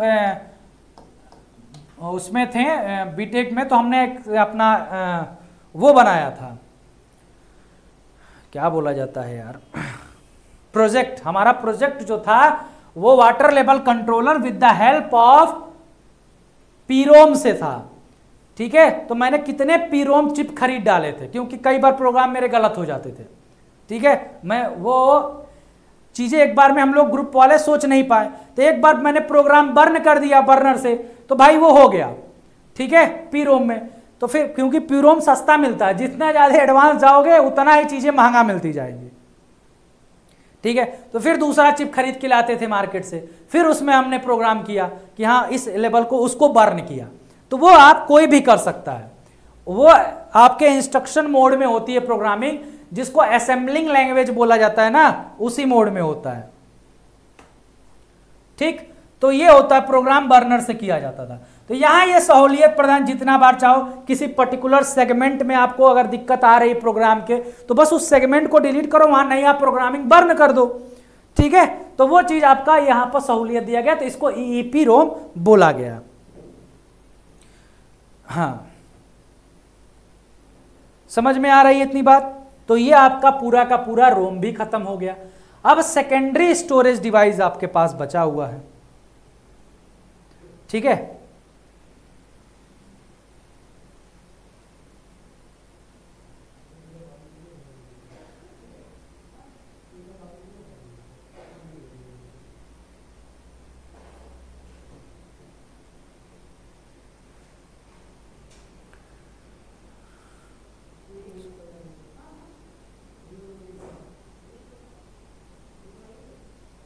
चलो हम्म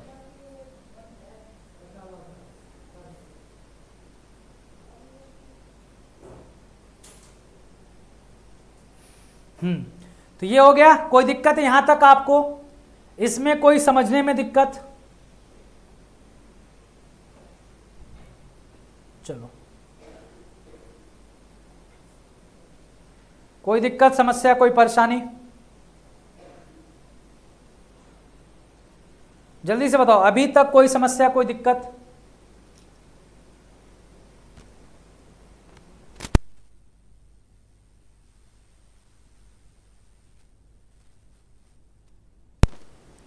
चलो। चलो तो आगे अब हम लोग हार्ड डिस्क वाले को पढ़ लेते हैं। आज मेमोरी को किसी तरह फिनिश कर देंगे। ये पूरा हो गया रोम को मैंने बता दिया। अब सेकेंडरी मेमोरी के डिवीज़न पे हम लोग आ जाते हैं। ठीक है? सेकेंडरी मेमोरी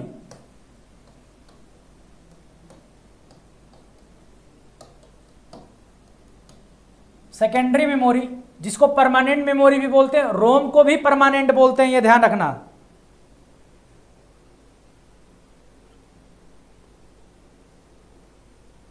कॉपी रंगा गई है तो कॉपी रंगना ही चाहिए, तभी तो मज़ा आएगा।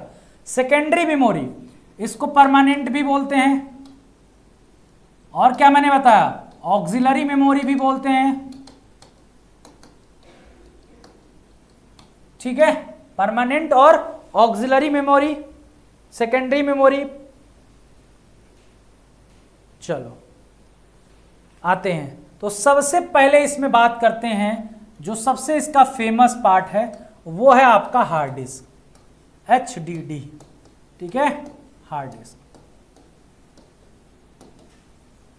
इसमें यूज़ क्या होता है? मैग्नेटिक टेप्स यूज़ होते हैं। सेकेंडरी मेमोरी में जो नहीं फ्लैश ड्राइव आपकी अलग होगी। फ्लैश ड्राइव जो होगी, वो अलग है। वो सेमीकंडक्टर से मिला के बनती हैं। फ्लैश ड्राइव का मतलब जो आप पेन ड्राइव देख रहे हो ना, जो फ्लैश ड्राइव है, वो सेमीकंडक्टर ही होता है। लेकिन जो पेन ड्राइव और ड्राइव देख रहे हो, आज के समय में फ्लैश ड्राइव का एक एग्जांपल बताओ, जो काफ़ी यूज़ में है, जो हार्ड डिस्क से भी फास्ट है। फ्लैश ड्राइव की स्पीड फास्ट होती है। ठीक है? जिसको बोला जाता है S D S S D S D D S S D कौन सी है सबसे? फ्लैश ड्राइव में आपका जो पेन ड्राइव होता है, वो भी फ्लैश ड्राइव है, वो भी सेमीकंडक्टर से बना हुआ है। और उसी में अब कंप्यूटर में इंटरनली लगने वाला डिवाइस ड्राइव बन गया है, जिसको बोला जाता है एसएसडी सॉलिड स्टेट ड्राइव ये भी किससे बना है? सेमीकंडक्टर से, इसीलिए महँगा आता है। अगर ये 200 आप 200 हाँ ढाई सौ जीबी अगर लगवाओगे तो ऑलमोस्ट इसका दाम हमें लग रहा है तीन हज़ार के अप्रोक्स होगा।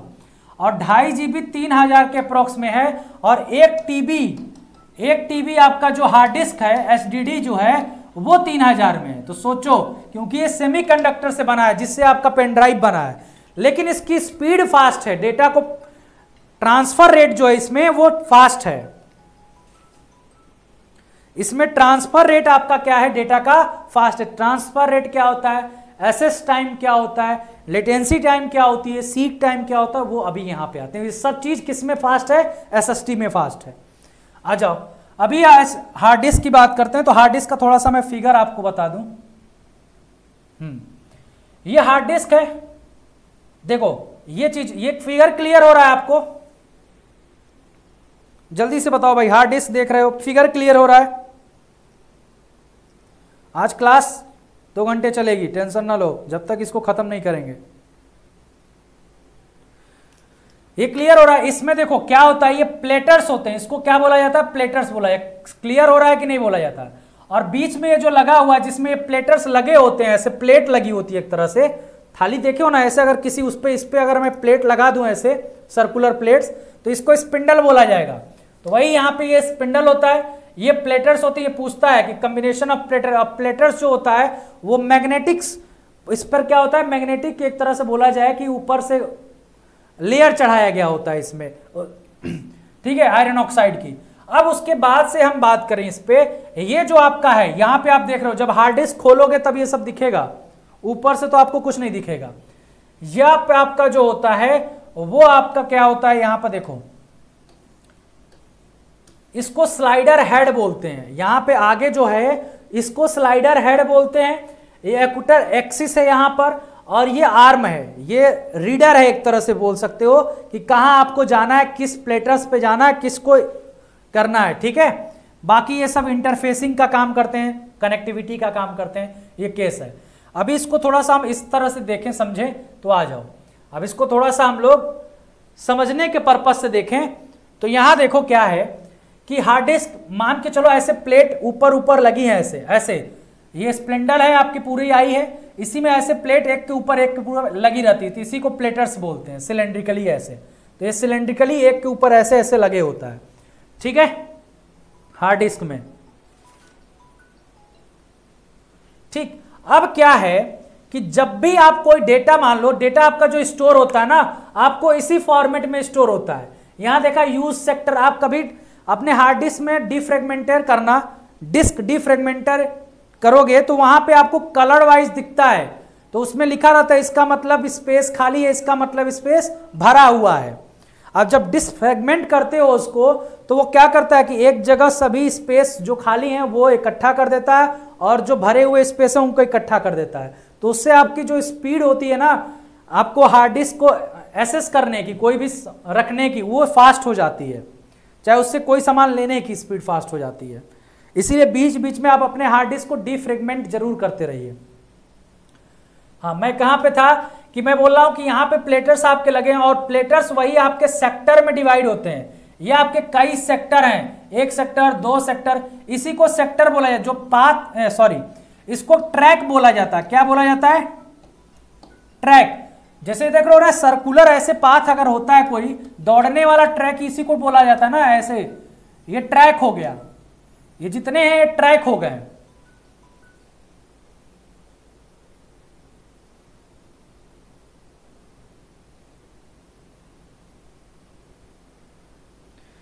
देखो, अगर फिजिकली डैमेज नहीं होगा सेक्टर तब तो सही हो जाएगा।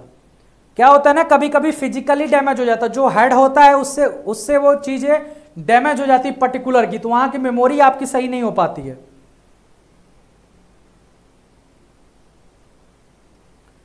ठीक? तो ये आपका होता है ट्रैक और ये ट्रैक आपके कई सेक्टर में डिवाइड होते हैं। सपोज़ करो ये कई सेक्टर में ऐसे डिवाइड होगा। ऐसे जब जाओगे तो इसके कई सेक्टर आपके डिवाइड रहेंगे। ठीक है? तो इनको सेक्टर बोला जाएगा। इतना जो पार्ट है ना, ये वाला पार्ट इसको सेक्टर बोला जाएगा। ये मान लो अगर ट्रैक वन है, ये ट्रैक टू है तो ऐसे ही इस, इसमें भी आपका ये सेक्टर होगा, इसका भी नामकरण होगा सेक्टर का एड्रेस होगा सेक्टर वन इसी में आपका डेटा सेव होता है। तो एक प्रश्न पूछता है कि आपका सीक टाइम क्या होता है?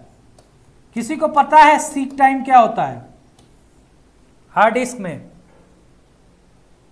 सीक टाइम क्या होता है? सपोज़ करो आप कोई डेटा सर्च कर रहे हो आपको किसी डेट, किसी फ़ाइल को उठाना है। आप जाते हो, आप नहीं समझ पाते हो कि वर्किंग कैसे हो रही है। क्योंकि वो आपके सामने तो होती नहीं, आप जाते हो फ़ाइल पे, ऐसे क्लिक करते हो, तुरंत ओपन हो जाती है।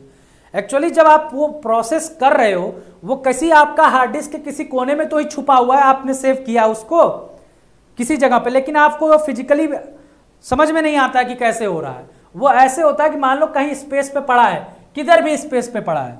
सपोज़ करो, आपका जो मैटर है, वो कहीं आपका यहाँ पर पड़ा हुआ है, इस इस जगह पड़ा हुआ है, इस वाले में।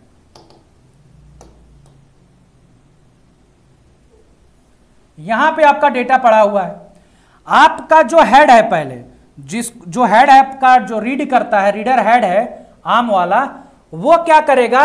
सबसे पहले तो उस ट्रैक पे जाएगा। ये किस ट्रैक में है? मान लो इसको ट्रैक वन दिए, इसको टू दिए तो ये थ्री में है ना, तीसरे ट्रैक पे है। तो अगर हेड को मान लो, पहले ट्रैक पे है तो पहले ट्रैक से तीसरे ट्रैक पर जाने में जो समय लगा, क्योंकि आपका जो डेटा है, वो तीसरे ट्रैक में है। लेकिन जो आपका रनिंग हेड है, जो रीड करने वाला हेड है, वो अभी पहले ट्रैक पे है। तो यहाँ से वो तीसरे ट्रैक पे जाएगा तो उसको जो समय लगा, उसी को कहते हैं सीक टाइम लिख लेना। सीक टाइम क्या हो गया? कि जो आपका ये हेड है उसको उस पर्टिकुलर ट्रैक पे जहाँ पे आपका डेटा सेव है, वहाँ तक पहुँचने में जो समय लगता है, उसको कहते हैं सीक टाइम और इसी में होता है एक लेटेंसी टाइम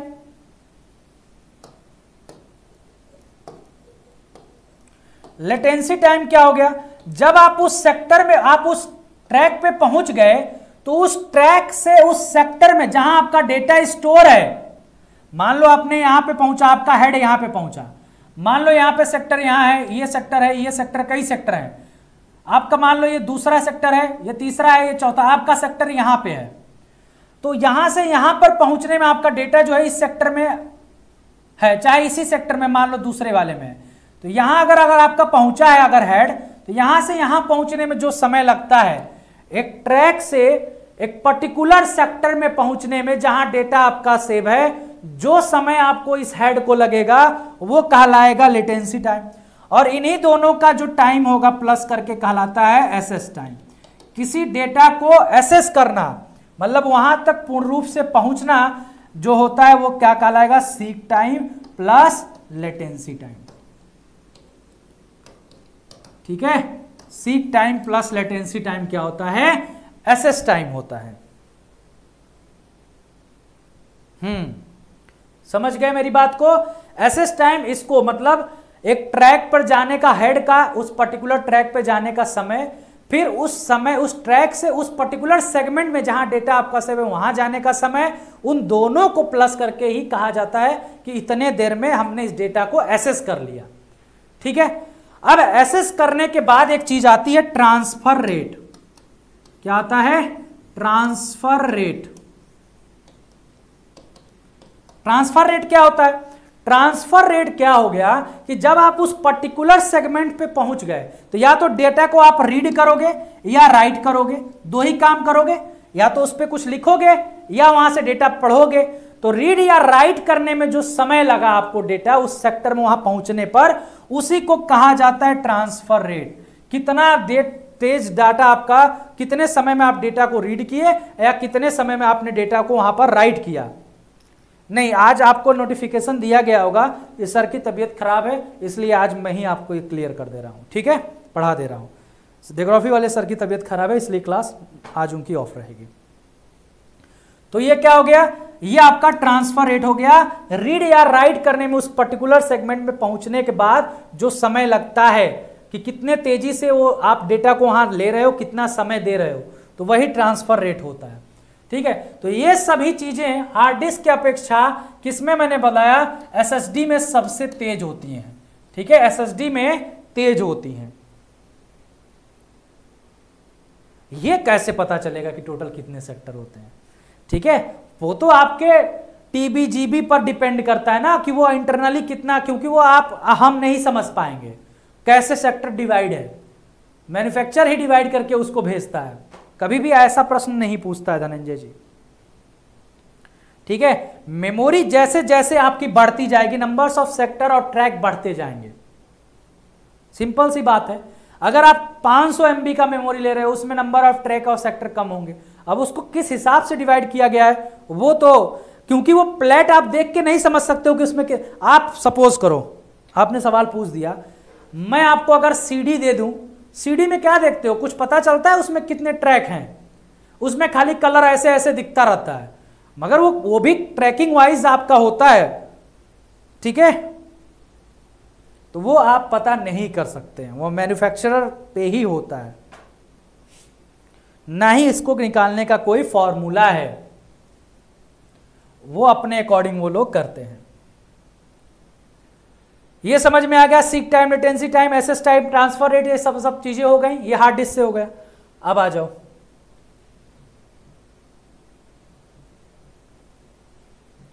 हार्ड डिस्क हमने आपको बता दिया। हार्ड डिस्क के बाद आप जब आओगे हाँ हार्ड डिस्क के बाद आ जाओ सीडी ड्राइव में। सीडी ड्राइव ठीक है? नहीं, ऐसा नहीं होता है। ऐसा नहीं होता है। 512 ट्रैक कैसे हो सकता है? ये तो फिक्स नहीं हो सकता है। ये किस किताब में आपने पढ़ लिया?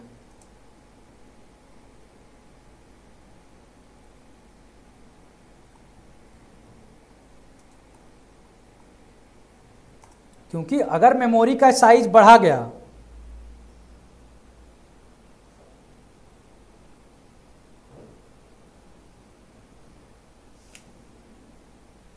अगर मेमोरी का साइज़ बढ़ा गया तो बढ़ता जाएगा। हो सकता है कुछ उसकी एक स्टैंडर्ड यूनिट हो।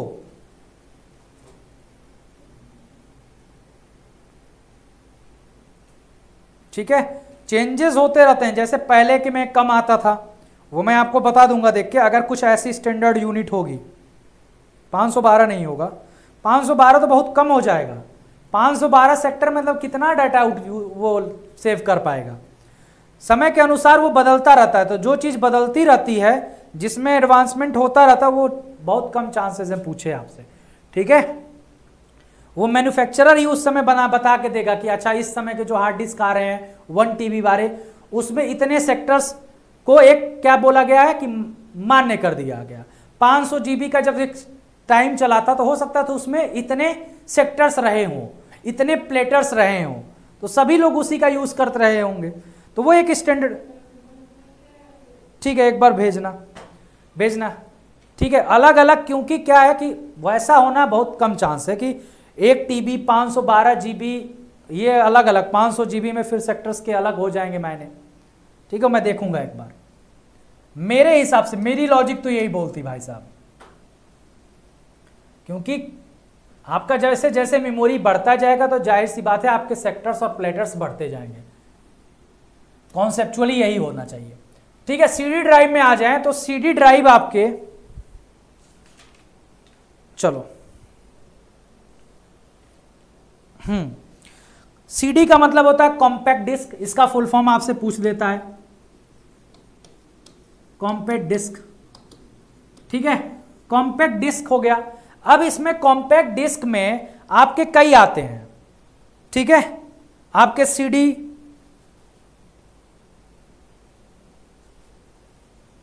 एक आता है सीडी रोम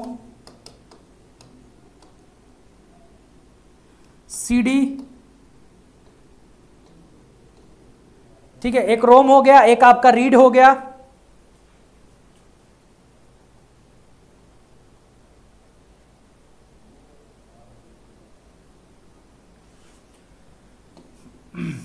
और एक सी डी आर डब्ल्यू हो जाएगा रीड राइट ये तीन पैट में बांटा गया है।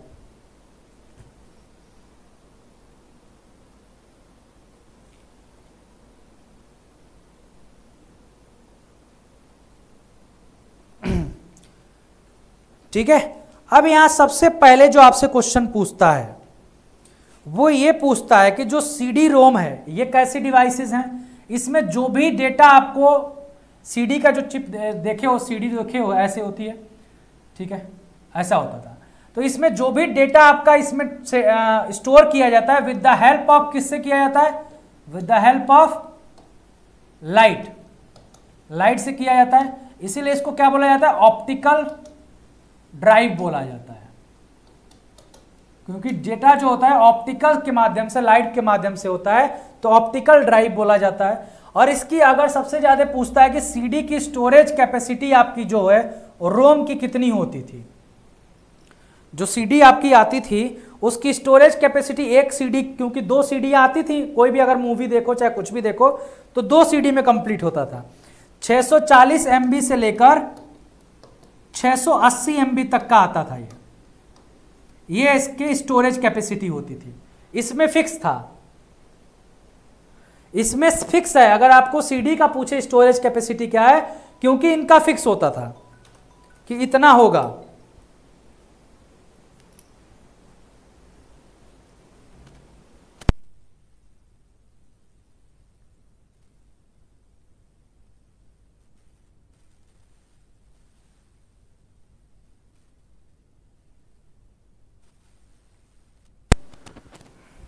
ठीक है? तो ये आपसे पूछता था कि इतना एमबी इसका स्टोरेज होगा। ये हो गया रीड सिर्फ़ आप रीड कर सकते हो जो मैन्युफैक्चरर के द्वारा गया। सीडी रीड और रीड राइट ठीक है? यहाँ पे आप एक बार उसमें डेटा डाल दिए तो उसके बाद फिर आपका नहीं कन्वर्ट होगा। यहाँ तो आपका जो आया, पहले से करके वो हो गया रीड ओनली मेमोरी यहाँ पे क्या आप लेके आए और उसमें कोई डेटा डाल दिए तो फिर आप चेंज नहीं कर सकते हो। यहाँ सी डी आर का रीडेबल मतलब होगा रिकॉर्डेबल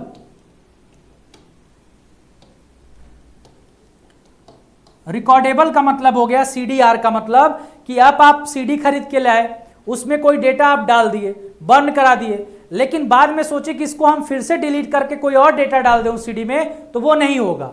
ये इसकी खासियत होती है। और सी डी आर डब्ल्यू में क्या होता है? रीड और राइट दोनों कर सकते हैं। मतलब आप एक बार रीड भी कर लिए और उसको डिलीट करके फिर राइट भी कर सकते हो। फिर रीड डिलीट करके फिर राइट कर सकते हो। तो उसमें रीड एंड राइट ऑपरेशन आप मल्टीपल टाइम्स कर सकते हो। ठीक है? चलो। ठीक है? देख लेना। ये 640 से 680 और कोई कोई इसमें 700 तक भी आपको देखने को मिल जाएगा। बहुत कम चांसेस है पूछेगा तो ऑलमोस्ट ये ध्यान रखना, कई उसमें स्टैंडर्ड में यही माना जाता है।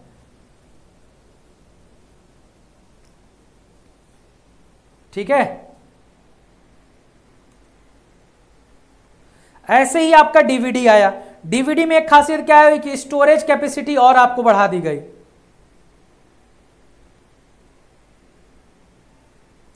डीवीडी में स्टोरेज कैपेसिटी आपकी और बढ़ा दी गई।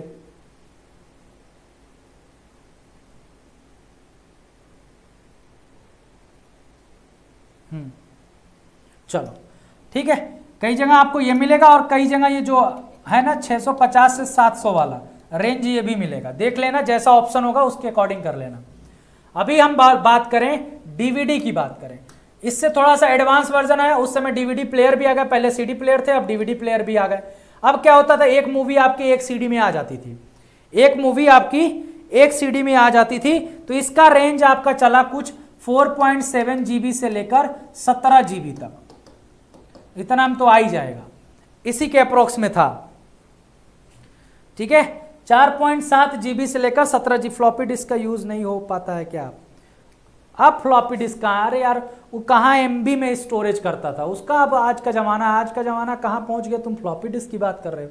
ठीक है? डीवीडी में। और डीवीडी में भी यही आता था। DVD ROM DVD write DVD RW ठीक है? इसके भी कैसेट जो डीवीडी भी ऐसे ही ऑप्टिकल ड्राइव होता था। लेकिन इसकी स्टोरेज कैपेसिटी ज़्यादा थी। बस यही अंतर है।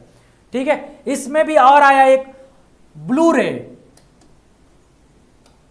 ब्लू रे डीवीडी अब इसका क्या है? ये हाई डेफिनेशन गेम या वीडियो हाई डेफिनेशन गेम या वीडियो को स्टोरेज करने के लिए ये आया था। ठीक है? गेम या वीडियो को स्टोरेज करने के लिए आया था ये। ब्लू रे जो आया था।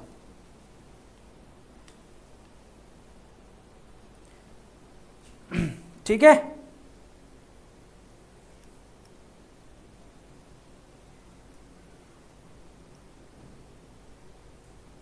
हाँ अभी बता रहे हैं कहाँ से आपसे पूछेगा।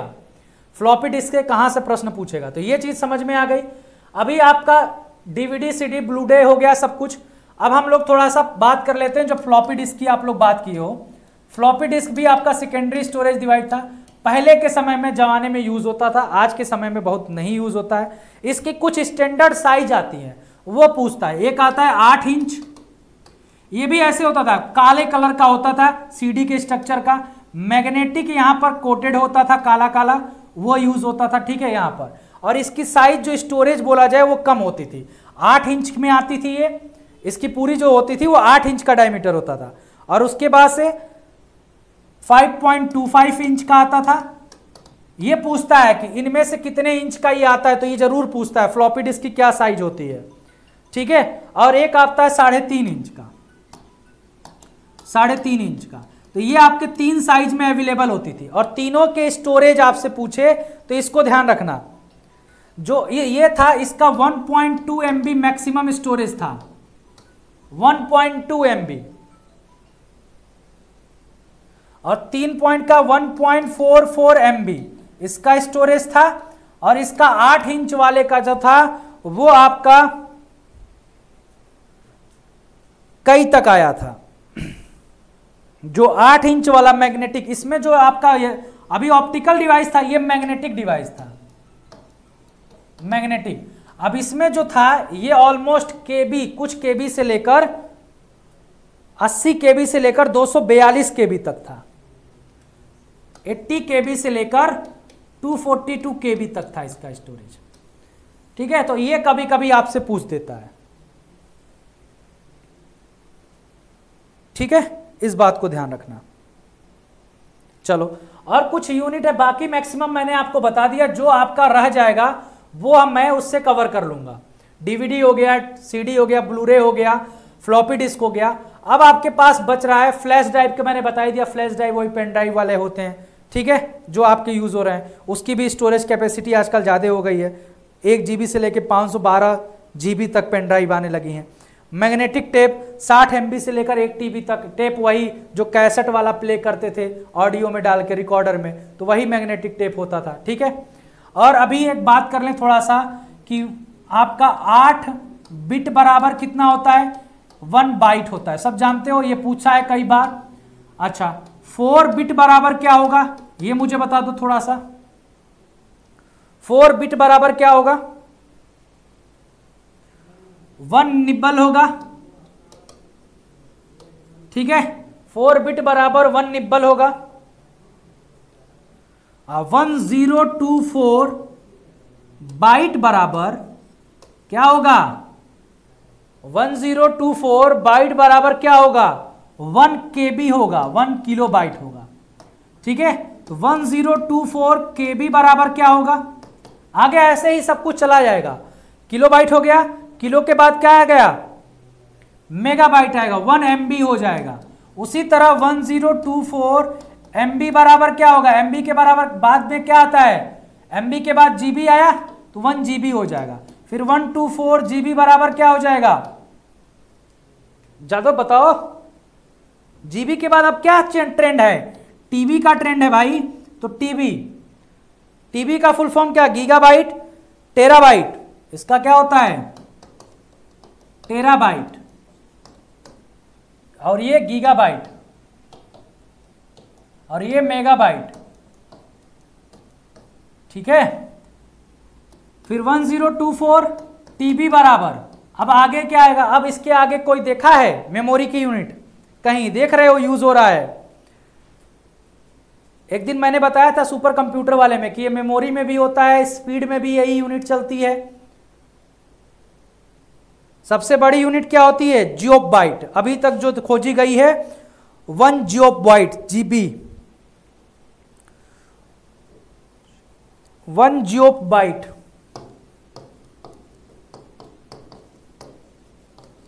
one geobyte ठीक है? One zero two four TB बराबर क्या हो जाएगा? पेटाबाइट पीबी ठीक है? One petabyte one zero two four petabyte बराबर, इसके बाद क्या आएगा? एक्साबाइट अब आएगा वन एक्साबाइट एक्साबाइट इसी पे अभी सुपर कंप्यूटर की स्पीड चल रही है वन एक्साबाइट टू एक्साबाइट पर चल रही है जो खोजी गई है वहाँ, अमेरिका वाली। अब देखो one zero two four exabyte बराबर।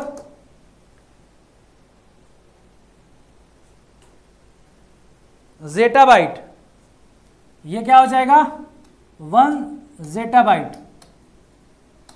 ठीक है? और वन जे बी बराबर one zero two four. Z B बराबर वन योटा बाइट। ठीक है? One yottabyte. और one zero two four Y B बराबर वन ब्रोंटोबाइट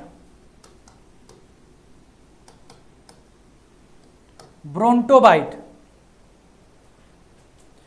और one brontobyte one zero two four brontobyte बराबर। आपसे क्वेश्चन मैं बता दे रहा हूँ, कहाँ तक पूछेगा? One geobyte.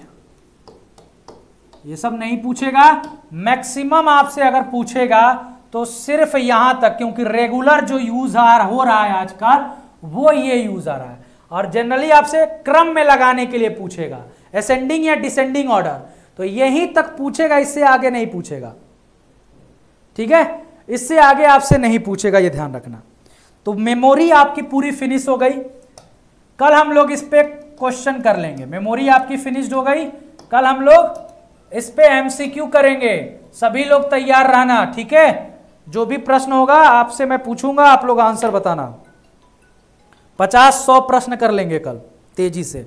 तो चलिए इसी के साथ मैं आप सभी से विदा लेता हूँ। आप सभी का बहुत बहुत धन्यवाद।